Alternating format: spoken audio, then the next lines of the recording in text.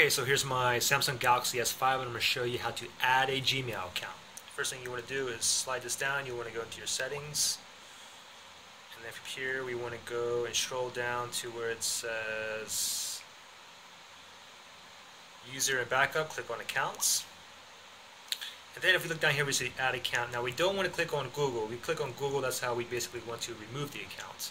But we want to add the account, so we're going to click on add accounts and then you simply select, select on Google. And then if you have a new or existing, I have an existing one, so I'm going to put that in.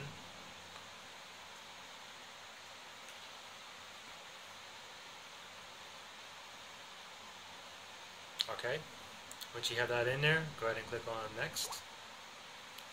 Gotta agree to the terms. Give this a minute or so. Okay, that took like 30 seconds, but uh, now it says on here, communication, keep me up to date. I always uncheck that. Then click on next. Payment info. Come on, you want to skip that. You don't need the payment info, so I'm going to skip. And now here's a lot of things in here, a lot of stuff. If you don't need it, get rid of it because it's going to drain a lot of battery power. So, for instance, I don't need that. I just need... Uh, Films. Come on, I don't need that. I just need my Gmail, my contacts, my calendars is fine like this. So click on next. And that that's it. Now it'll be in your Gmail account. Any questions or anything, just comment in the bottom. Any thumbs up, and if you subscribe, that'd be great too. Thanks, guys. Bye.